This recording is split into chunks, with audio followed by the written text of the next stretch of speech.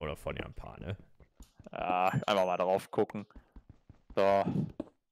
Und, bist du eigentlich immer noch hier in dem Dorf? Nein. Wo bist denn du jetzt? Ich bin weitergelaufen, hab irgendwie so komisches Höhlending gefunden. Ja, super, wir haben uns jetzt verloren. Ich weiß. Wir finden uns schon wieder. Wir müssen irgendwo einen Platz zum Niederlassen finden. Noch. Ja, Ich komm zurück. das. Danke. Wäre sehr hilfreich. Ja, das, ähm, ist, das sind halt die andere Art von Influencer, die denn. Also. Doch, er ist ein Influencer. Hm, Aber er versucht es nicht, er ist es einfach geworden und hat es akzeptiert. hm.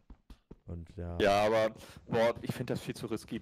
So eine gehasste Person, genauso wie Drachenlord im Internet zu sein. Und man sieht es ja, Ja, Drachenlord äh, hat halt voll was abbekommen. Der Anzeigenhauptmeister hat auch schon auf die Fresse bekommen. Also es ist halt echt Das nicht. stimmt, aber beim Anzeigenhauptmeister will den nicht jeder abfangen. Drachenlord ist natürlich so Ja. ein.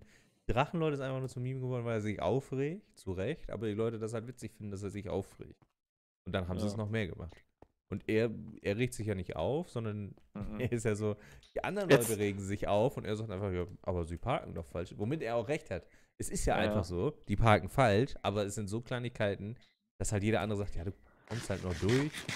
So, so Ja. banale Kleinigkeiten. Klar, bei größeren Sachen ne, denken die Leute auch, ja, was parkt der da so dumm falsch, ne? Das ist natürlich Mutz. Ja, aber er zeigt die ja auch an, ne? Wenn er auf die Fresse kriegt. Das nutzt er ja direkt aus. Ja, gut, aber gut, dann, da bist du aber schon wieder zurecht, weil, Ja, ja, klar. das ist schon wieder der nächste Step, wo ich sage, okay, da hat der Anzeigenaufpasser das ist- recht. Wenn da- die Leute klar. jetzt in irgendeinem, wenn die jetzt da 5 mm über den Parkstreifen gehen und der zeigt die dann an, Ja, dann ja. sage ich, was bist du für ein Kecklord? Ja, ja, klar. Aber ähm, dass er die anzeigt, bin ich komplett bei der, würde ich auch machen. Aber ich finde, das ist ja auch eine Art von Reaktion, genauso wie der Natürlich. Drachenlord, der sich aufregt, ne? Aber das kommt ja erst aus der, ja. Aber- ich finde das immer noch unterschiedlich. Also es ist immer noch ein Unterschied. Okay. Weil der, der regt sich, also die Reaktion ist ja auf eine ganz klare, die wird in die Fresse gehauen. Drachenlord regt sich auf, weil die Leute dumme Sprüche machen. Und die steckt er aber eigentlich immer weg, die, der Anzeigenhauptmeister. Der sagt ja nur, äh, Ja, das was bist interessiert du für ein Vogel? Bist du ein Spasti? Und er sagt, naja, sie parken halt falsch, habe ich sie angezeigt. So, ne? Der Ja. regt sich ja nicht darüber, dass sie dumm reden. Ja, da ist auch wiederum recht. Wollen wir nochmal hier pennen gehen? Das ist ja wieder dunkel hier alles. Jo. Ja, lass mich mal eben Bett hier noch äh, aussuchen und dann baue ich das Bett auch ab. Ey, scheiß drauf, Digga. Da ist das Bett. Ey, hier liegt so ein Lelek drin. Ähm, ja, aber es, es gibt ja auch noch andere Influencer, die jetzt nicht so gehatet werden in dem Fall, aber wo ich dann auch so Sachen wieder sage, so, ey, du hast viel zu viel Zeit zum Nachdenken. Ähm, das, das mit dem Sylt-Video, keine Frage, können wir alle sagen, das war absolut scheiße. Aber da war eine Influencerin, diese Lola Weipert, ich weiß nicht, ob du das mitbekommen hast, die hat ja nach diesem Sylt-Video einen Reel aufgenommen, wo sie vor der Kamera geheult hat und gesagt haben, ey, wir haben so viele Scheiße getan in der Vergangenheit und hat deswegen geweint. Was? Hä? Was? Wie? Nochmal, habe ich, also, verstanden. Die hat- also. ja. Ja, wie hast du es jetzt verstanden? Die hat, also die hat auf die Reaktion, hat die das Video hochgeladen? Nein, nein, also Achso, die hat, also, also die hat ein Reel hochgeladen, wo die geheult hat. ja. Einfach weil wir Deutschen so ein Sylt-Video gemacht hat und äh, weil sie sich so schämt für, unseren, für unser Land. Und deswegen hat sie geheult und hat ein Reel aufgenommen und äh, hat dann gesagt, "Oh, es sei so schlimm und oh, wir haben so viel Schreckliches getan in der Vergangenheit und oh, es tut mir ja so leid, dass wir so sind. So und hat das dementsprechend dann dieses Reel hochgeladen. Und ich muss sagen, das ist ein bisschen too much. also, Ja, also Klar, das Sylt-Video war absolut Bockmist. Die Leute, die wurden bestraft. Fertig. Aber da fühle ich, also ich persönlich fühle mich dadurch jetzt nicht schlecht. So, hä? Was soll das? Also ich meine, das Gute aus dem Video, ich habe es nicht gesehen, aber aus dem Real wäre diese, ich habe das deutsche Wort vergessen, Awareness aus daraus aus der, die Vergangenheit immer noch im Kopf zu haben, dass so eine Scheiße passiert ist. Dass das nun mal dann unsere Vorfahren waren, die so eine Scheiße gemacht haben. Ja, aber das waren wir ja nicht. Nein, das waren wir nicht, aber dass die, das ist, ach, das ist ja genau der falsche Gedanke, weil wir haben es jetzt schon mal erlebt, was passiert, wenn die Rechten an die Macht kommen. Nix gut, nix gut. So, und das aber im Hin wieder hervorzurufen, dass das schlecht ist, ist ja nicht verkehrt. Ja, So, aber, aber da das so- vorzuheulen, das ja, ist, Ja, das ist halt dann wieder, das ist das Melken von dem gerade, das ist gerade ein Hot Topic. Äh, Das müssen wir, brauchen Klicks. Klicks. richtig, genau. Das ist doch einfach nur, ey, hier guck mal, ich werde so ein, so ein, so ein, so ein, so ein Thema, Good also Influencer, wir sind mega werbefreundlich, so, so das ganze Thema. Ich äh, tue alles, damit ich meine Werbedeals gut kriege. ja, ja, also, also Thema eigentlich gut, Fokus von ihr komplett verkackt. Also Ja. das, ja. Also, ich, ich weiß auch nicht. Und äh, ich finde es auch richtig in dem Sylt-Video, dass die Leute da, die, der, der, der, der Idiot, der da den Hitlergruß gemacht hat, dass der auch entlassen wird und sowas alles. Aber da wurden ja auch Leute entlassen, die da einfach auch da zu sehen waren, einfach nur. Weißt du? Da waren ja auch Leute dabei, die ja gar nicht richtig mitgemacht haben. Das Problem dabei ist halt, du mitgefangen, mitgehangen, ne? Zur falschen Zeit am falschen Ort, weil die aber auch nicht eingegriffen haben. Also, hätte, Ja, hätte einer von. Du da Ja? Moment. Hätte einer von denen gesagt, ey, seid ihr dumm oder was? Hört auf damit, dann wäre ihm das nicht passiert.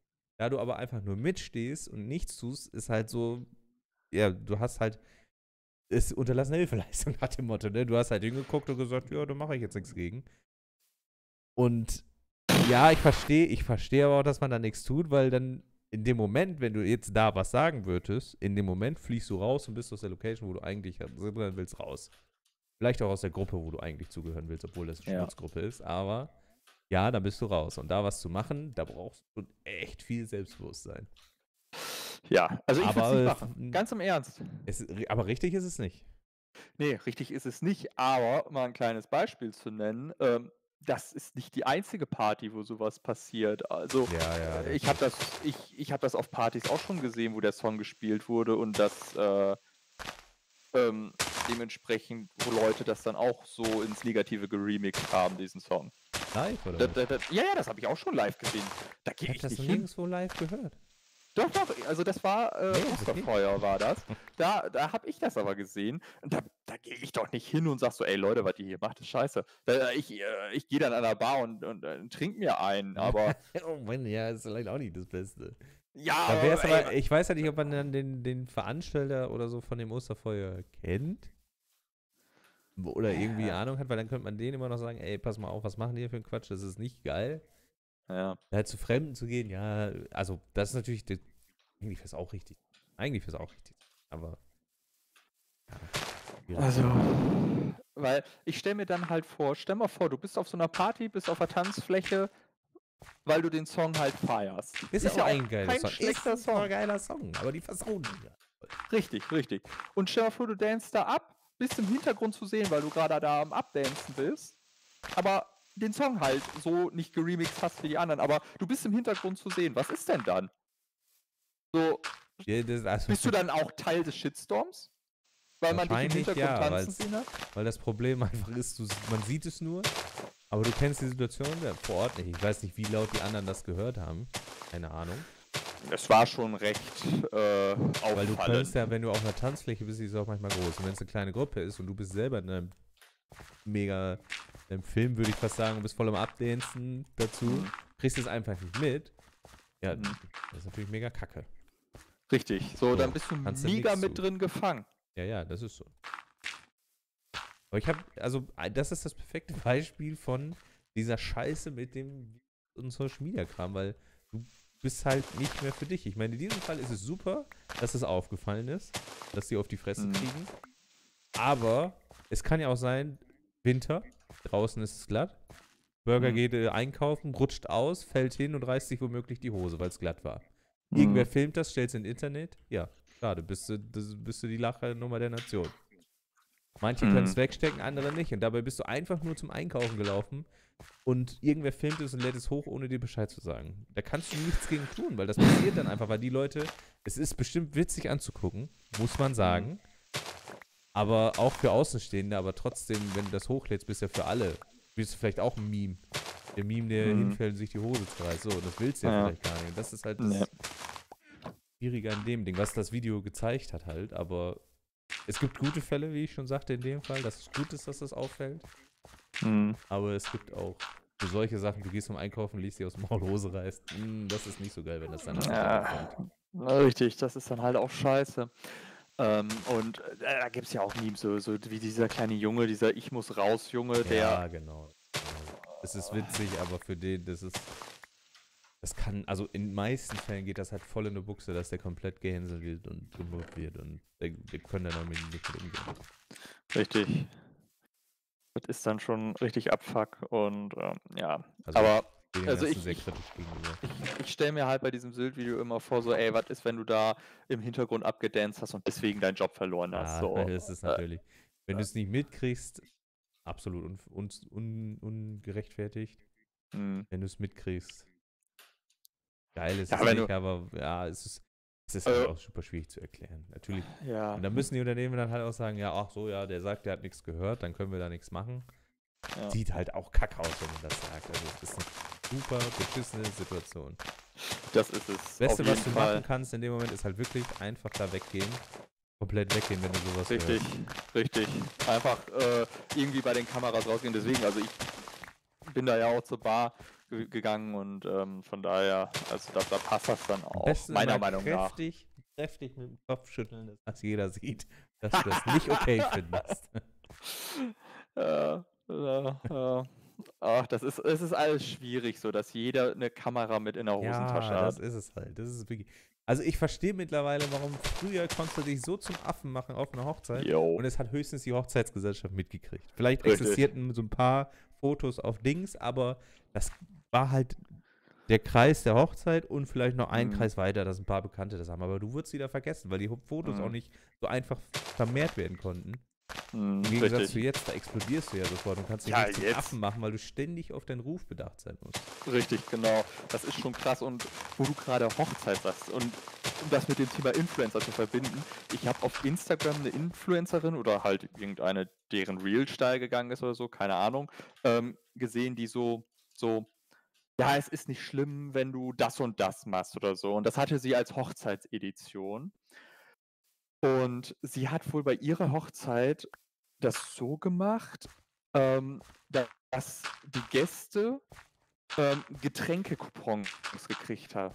Jeder Gast zwei Getränkekupons gekriegt und konnte sich dadurch dann ein alkoholisches Getränk organisieren. Was über diese zwei Coupons on top geht, müssen die selber bezahlen. Gott.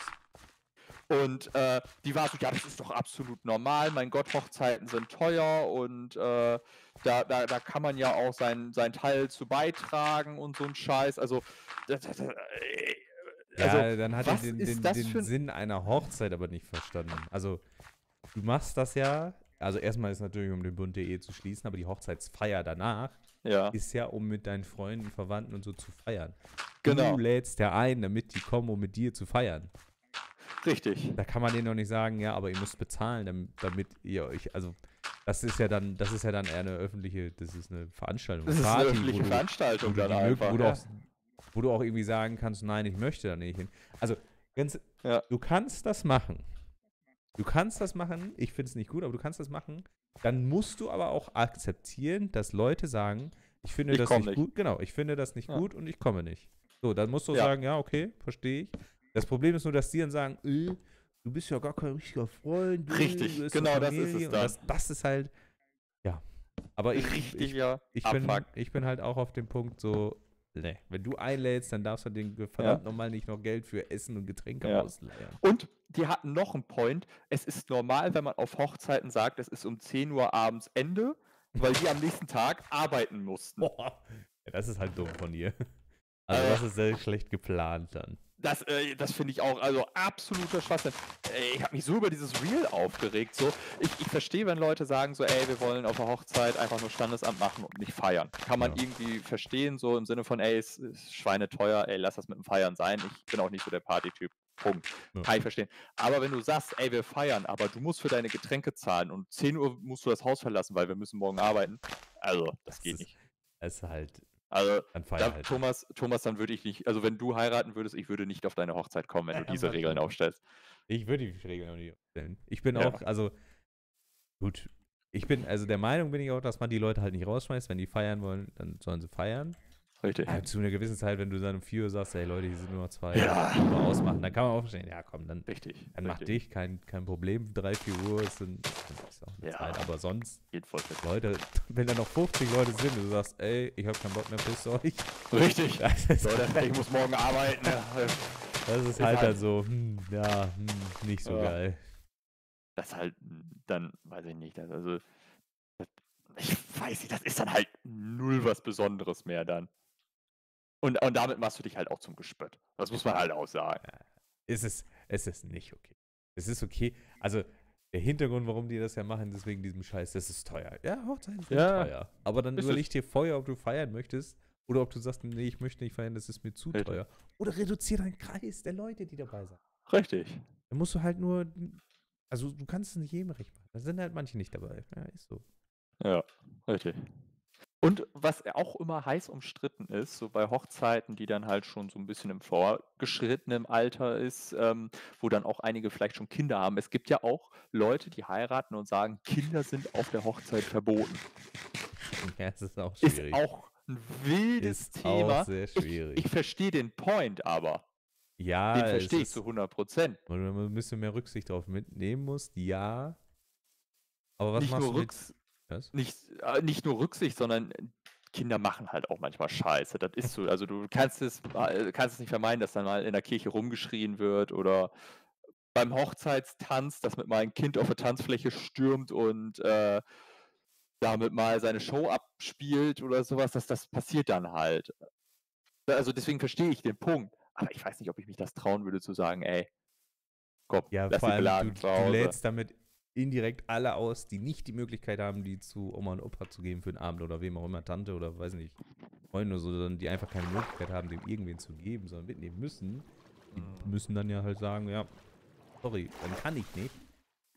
Andersrum ist das ja, warum, warum sagt man, ich will keine Kinder mit auf der Hochzeit haben? Weil du halt, wie du schon sagst, eigentlich den perfekten Abend oder so möchtest, wo alles so läuft, wie du es planst, damit halt nicht sowas Unvorgesehenes wie Ki Kinder sind einfach unberechenbar, da passiert halt alle Ja. Scheiß. Ja, Aber das finde ich halt auch dumm. Weil natürlich, du musst dir einen Plan haben, wie eine Hochzeit, wie du diese vorstellst, so ja, so und so wäre es schön. Aber diese. Momente, die dann so völlig random passieren, sind doch eigentlich auch ganz geil. Dann wirst du in dem Moment, denkst du dir natürlich, boah, irgendwie nervig. Und ein paar Mhm. Jahre später denkst du dir, Alter, wie dumm war das denn? Irgendwie schon witzig. Macht die Hochzeit auch wieder einzigartig. Ja, das stimmt schon, aber boah. Würdest du, würdest du das bei dir zulassen, dass da Kinder sind? Ja. Ah, schwierig. Schwierig, schwierig, schwierig. Ich wüsste es nicht. Bin ich dir ganz Ja, ehrlich, also- ich wüsste es nicht. Ich sehe da nicht. Das ist ja dumm. Du lädst halt dann die auch wieder aus, die Ja. dann da nicht mitkommen, die, wie gesagt, die das dann nicht machen können. Ja, stimmt auch wieder rum. Oder die dann halt, die halt gerne mitnehmen. Es gibt, es gibt ja, es soll ja auch Kinder geben, die sich da äh, nicht immer Benehmen. ja, es soll ja auch, die vielleicht sogar richtig mitfeiern, wo du sagst, ey, war richtig cool, dass er dabei war, weil das hat Spaß gemacht. Soll es der, Kle geben, ne? der kleine Timmy hat mit seinen zwölf Jahren eine ganze Flasche Wodka geschafft. Ja, das weiß ich nicht. Aber vielleicht hat er einfach bessere Dance-Moves drauf als du und rockt die Tanzfläche. Ja, das Ohne möchte ich ja auch Alkohol. nicht. Das möchte ich ja auch Ach so, nicht. das Ich- willst du auch nicht. Ja, vielleicht Nee, nee, willst du aber, das- dass du irgendwie den Onkel Olaf, der dumme Dance-Moves einfach aussticht und alle sagen, boah, der Boah. Timmy, Alter, der hatte Dance-Moves drauf. Der- der viel der besser als Onkel gerissen. Olaf. Oh, ist, das, ist das unser Titel für heute? Der kleine Timmy ist besser drauf als Onkel Olaf? Ja, der kleine Timmy ist besser drauf als Onkel Olaf. Das muss ich, das muss ich hier mal kurz aufschreiben. Äh, Oh Mann, ey. Ja, aber also, ja, keine Ahnung, nee, kann ich nicht wirklich nachvollziehen. Also, ja, doch, kann ich nachvollziehen, aber äh, ich nicht. Ist, Ah. Äh, einen Moment. Ich weiß nicht, ob das im Chat bleibt, deswegen fotografiere ich es mal kurz ab. So. Also. Folge, du- also, ich weiß nicht, du denkst, dass ich, wenn, wenn nur ein Kind ist, da wäre, Ja, scheißegal. dem wird langweilig. Und das wird wahrscheinlich am ehesten irgendwie Quatsch machen, als wenn da eine ganze Gruppe von Kindern, die sich selber beschäftigen. Und womöglich, wenn Ja. du, wenn du draußen feierst, dann rennen die den ganzen Tag draußen rum und sind abends eh müde. Ja, das stimmt. So. Das stimmt. Aber, na gut, dann sind die Eltern aber auch recht, also früh weg, ne? Wenn Ja, okay, besser früh. Was ist besser? Dass sie früh weg sind oder gar nicht erst kommen? Ja, ja, ja, früh weg ist besser als gar nicht kommen. So. Also, Deswegen, das ist. Aber ich würde es. Da kein Problem. Ja.